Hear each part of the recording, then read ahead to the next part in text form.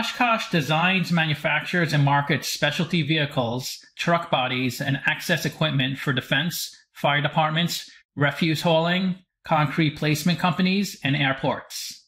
It owns Pierce Manufacturing, the largest fire truck manufacturer in the world. It also owns JLG Industries, a leading manufacturer of lift equipment, including aerial lifts, boom lifts, scissor lifts, and telehandlers. It is organized in four primary business groups access equipment, defense. The third group is fire and emergency, and the fourth is commercial. In February of this year, it was awarded the U.S. Postal Service's mail truck contract to produce between 50,000 and 165,000 units over 10 years. The fleet will include internal combustion engine vehicles as well as battery electric vehicles. The losing bidder was Workhorse, who protested the decision. It's not too much of a surprise. Oshkosh has been around over 100 years. It averages $20 million of revenue per day this past year. Workhorse generated a total of $3 million of revenue in the past 12 months. So who would you go with? A billion dollar company like Oshkosh or a company like Workhorse who delivers hardly any vehicles throughout the year? Oshkosh is headquartered in Oshkosh, Wisconsin and was founded in 1917. It started trading in 85 and can be found on the New York Stock Exchange, Deutsche Börse, and London Stock Exchange. Let's get started with the model. This is a mid-cap company, 7.7 billion market cap. They're trading at 113 a share and they have 69 million shares outstanding. Let's look at their financials. The way you value a company is you estimate the free cash flows into the future and then you discount those numbers back to today's value. That's what we're doing in this video. And free cash flow is cash flow from operations minus capital expenditures. So their free cash flow was pretty consistent from 2018 to 2019. It dropped a lot in 2020, but it was the highest in the trailing 12 months at close to $1 billion. Net income is the profit or loss on the income statement. It's revenue minus expenses, and that's pretty consistent year to year. It's close to half a billion in the trailing 12 months. Revenue is a sales for the company, and that peaked in 2019. It dropped a lot in 2020, but has come up in the trailing 12 months. This is the company's income statement. The top line is the revenue, the sales. So here's a breakdown of their revenue by segment. So you can see in 2019, access equipment was over $4 billion, and that dropped a lot to 2.5 billion. Defense actually increased from 2 billion to 2.3 billion. Fire and emergency and commercial dropped a little from 2019 to 2020. The company does mention in their 10K that COVID was a big reason for lower demand in access equipment and the commercial segments. But you can see revenue is up in the trailing 12 months, so things are improving from 2020. Below revenue is the cost of revenue. These are the expenses that are directly related to generating the revenue. The cost of materials and supplies is a big cost of revenue for this company. Also, payroll is another cost of revenue. Revenue minus cost of revenue gives you your gross profit, and that peaked in 2019 like their revenue. It dropped a lot in 2020 and came up in the trailing 12 months. Below that is operating expenses, and their big operating expense is payroll. So you have payroll in cost of revenue and in operating expenses. So the payroll for the employee working on the front line and building the products goes in the cost of revenue. The people not building the products, like the administrative assistant, the people in accounting and legal, that goes into operating expenses. And below that is operating income, which also peaked in 2019, dropped in 2020, and came up in the trailing 12 months. They paid 48 million of interest on their debt. They did pay 71 million in 2018. And the bottom line of the income statement is their net income, which did peak in 2019, but the trailing 12 month net income is actually higher than 2018, even though 2018 has higher revenue. It's mainly because they pay 23 million less on interest expense in the trailing 12 months when compared to 2018. So their income statement looks pretty clean. There's not these large numbers in other income and expenses. Because sometimes companies pass through like a billion dollars in asset impairments, and that makes their net income look negative, even if they had a good year.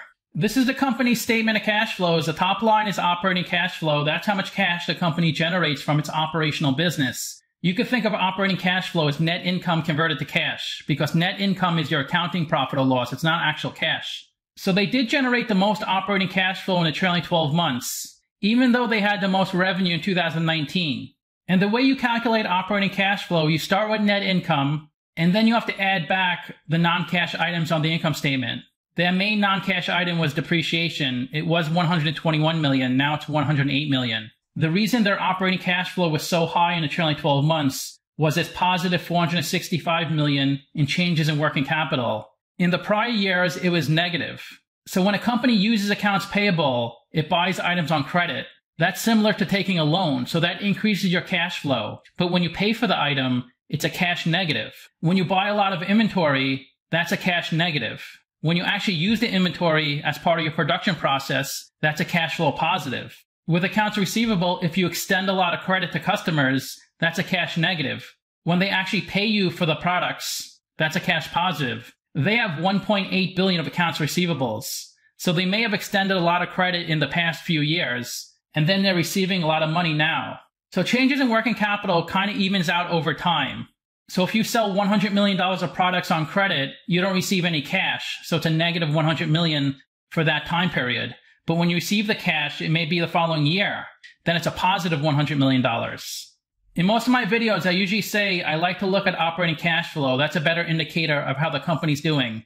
But in this case, since they have so much changes in working capital, I would say operating income on the income statement is a better indicator.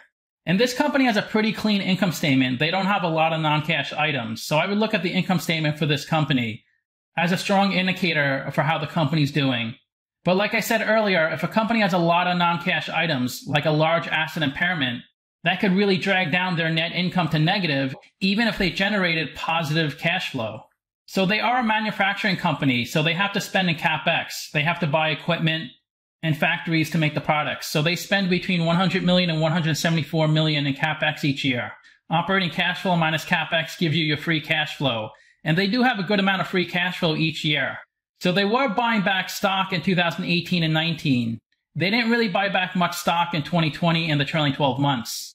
But you can see in 2018, they issued a similar amount of debt as they paid off. Same thing in 2020. But their interest expense is so much lower than in 2018 when compared to the trailing 12 months. How can that be if they have the same amount of debt? The way a company pays less interest on its debt with having the same amount of debt is the debt they paid down had a high interest rate, around 5 or 6%. And then the debt they issued had a low interest rate, like 2 or 3%. That's how you lower your interest expense and keep the same amount of debt. This is the equity section of the balance sheet and they have 3.3 billion of equity. They raised 800 million dollars from issuing stock and they bought back over 460 million of stock. Treasury stock is a stock you buy back and you put it onto your balance sheet. It's a contra equity account. So you have to minus it from stockholders' equity. And they generated over $3 billion of profit after paying dividends. So this company has been around a long time. They're profitable they have a really healthy balance sheet, so it appears to be a really safe investment. Let's look at the capital structure. 3.2 billion of equity, 800 million of debt. They're 80% equity, 20% debt. Their net debt is negative 348 million, so they could pay off all the debt with the cash on their balance sheet and still have 348 million dollars of cash left over. Their weighted average cost of capital is 8%, and that's a discount rate we're going to apply to the future cash flows. We estimated four years of future free cash flows. We also estimated a terminal value, which is all cash flows past year four. That's 8.4 billion. We discounted those numbers back to today using the weighted average cost of capital. We get a value of the company of seven and a half billion dollars. We divide that by 69 million shares. And we get a calculated stock price of 109. They're trading at 113, so they're trading at a 4% premium. It is a sell according to the model, but it's pretty close to where they're trading at. The way I value their future free cash flows, I use my model. I actually have four models, the median, the average, the min, and the max. I have a video explaining how I calculate the future free cash flows. I usually use the median model for most companies. Of course, if the company has negative free cash flow, the model won't work. I have to somehow estimate their future free cash flows. But this company has pretty stable numbers. And you could see how it smoothed out the future free cash flows, even though they had that big jump in the trailing 12 months. Simply Wall Street values the company at $92 a share. They're saying it's 23% overvalued. Six analysts priced this stock and they're all pretty bullish. The average price target was 143. That's probably due to the post office contract they were awarded recently. This is where the stock has been trading since 1985, so it looks like it was pretty flat for a really long time, although it is hard to tell with such a long time frame. Then during 2008, the stock crashed during the Great Recession. The stock was in the single digits for a while, but then it's come back up. And the stock doubled from the end of 2020 to a few months ago. It did regress a little bit. That's mainly because it was in the running to win that contract. So this is where the stock has been trading the last 12 months. The main reason the stock price came up so much because it was in the running for that post office contract. Then when it won the contract, the stock price actually came down. That's pretty common because in anticipation of winning that contract, the stock price was driven up. And then when he actually got the contract, people took in their profits and the stock price came down a little bit. You could see it didn't come down too much, but it's trading a lot higher than it was 12 months ago. If they didn't get the contract, the stock price would have came down a ton like Workhorse. You can see Workhorse's stock was pushed up to about $40 a share. And then when they did not get the contract, the stock crashed to below $10. If they did get the contract, it probably would have settled around 30 to $35. The reason the stock price comes down, whether the company wins the contract or loses the contract, is because the stock market is forward thinking. People knew about this contract, so they bid the price higher. If this contract came out of the blue, then the stock would have shot up overnight. It's the same as if a company meets their earnings estimate.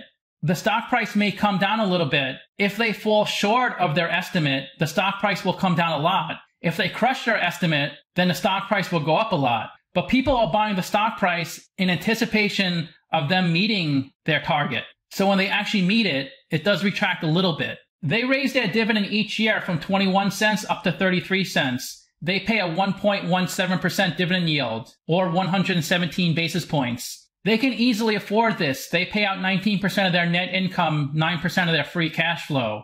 So they have a lot of money left over to even raise a dividend if they wanted to. And their industry pays a 1.5% dividend. They're a little lower than their industry. Their stock moves about one and a half times the market. They have a beta of 1.54. The stock is up 43% in the past 52 weeks, while the S&P is up 29%. The 52 week low was 67. The high was 137. And the stock is trading below its 50 day and 200 day moving average. The stock isn't too popular. About half a million shares are traded each day. Pretty much all the shares outstanding are on float. 91% of the shares are held by institutions. So when a company has a high institutional ownership, that's generally considered a good thing because institutions are considered smart money. Plus they have tons of money to throw around. They can buy millions, tens of millions, or up to hundreds of millions of shares at one time. Where investors like us can't buy nearly that many. About 2.5% of the shares on float are shorted. In the past year, three years, and five years, the stock has gone up similar to its industry and the market. Analysts are projecting their earnings to grow 13% and their revenue to grow 7.5%. That's a little less than their industry and the market. In the past five years, their annual earnings are up 12%. In the past year, it's up 29%.